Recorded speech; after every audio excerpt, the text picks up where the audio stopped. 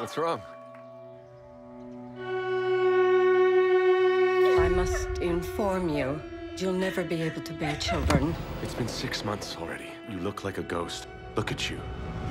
Why don't we go back to our town? No, that's out of the question. I had a wonderful childhood in this house, and our children will be happy here too. Here we provide shelter and education to abandoned children.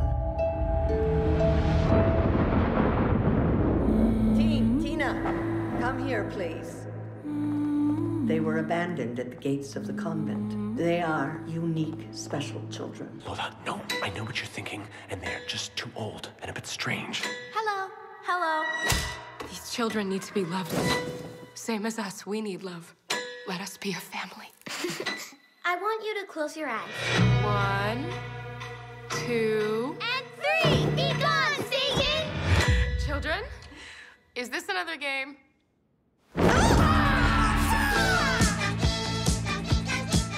And Tina are two beings mischievous like all children. What if they're not simply innocent children who misinterpret the Bible? What if they're just the opposite? Aquello que reluce en lo alto del palillo es un pájaro, un avión. You can't just do whatever the Bible says you should. It's the word of God. The Bible is fantasy. Honey, that's not jam. Cookie's not waking up. You mustn't lie to me. Lying is a sin. A mother should trust her children. That is the wrath of God.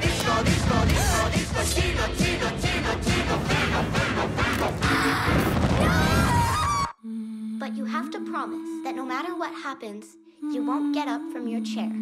Do you promise?